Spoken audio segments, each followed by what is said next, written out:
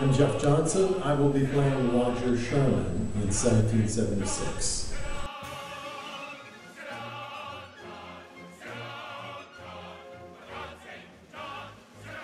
And this is a show that I've wanted to do for a long time because, uh, well, the special meaning as far as uh, the 4th of July and doing it in July. And, um, it's just a very patriotic piece that has a lot of good music in it. So I'm really looking forward to doing it.